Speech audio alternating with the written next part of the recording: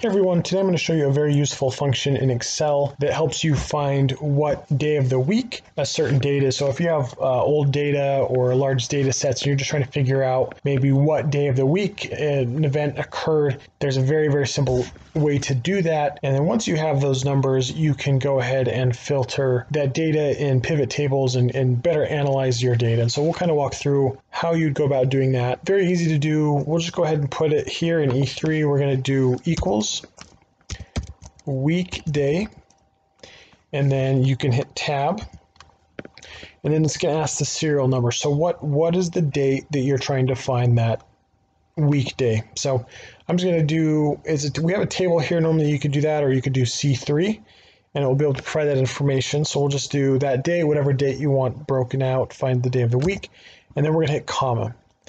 Then it's going to ask you for the return type. And the return type basically is just asking how you want the week to be broken out. So if you don't do anything, it's just going to default so that Sunday would be day one and Saturday would be day seven. But you can, as you see here, there's a couple different options. So you can do two, which would be Monday is your first day of the week, or three would be zero, would be Monday.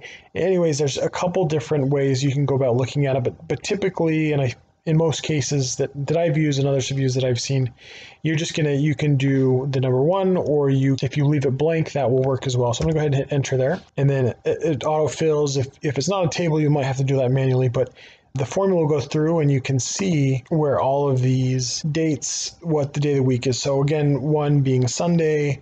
So this first date here, that would be a Tuesday again, Monday being would be two, Tuesday three, Wednesday four, and so on and so forth. And so now we now we have all of these days of the week. We know what days these certain sales took place, which is very helpful. So let's say though that we want to see on what day of the week we each of our items sell the best.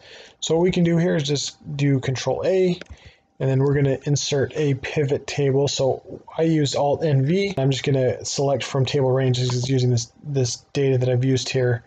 And then we'll just go ahead and do existing worksheet and we'll just drop it here, uh, I3. And then we'll be able to filter it. So we're going to put our, our items here. We just want to know on what day of the week these items sell the most. So we, we have our, our items or the name. Our number is the value, so the number of sales that actually took place. And then what we'd want to do is we'll drag our weekday to the columns. And so now we have our Sunday, Monday, Tuesday, Wednesday, Thursday, Friday, Saturday. And so now we can look and see, okay, we definitely sell the most on Tuesday. So we have that day of the week sales data and broken out. So very useful. I've, I've used this a couple times for different analysis on, on things that take place, you know, what day of the week. And so very helpful there. You can group by week as well pivot table, which I have another video for. But again, a very super easy and helpful function here in Excel. Please let me know if you have any questions around this, if there's anywhere you'd like me to elaborate, and please subscribe to the Excel guy. Thanks and have a great day.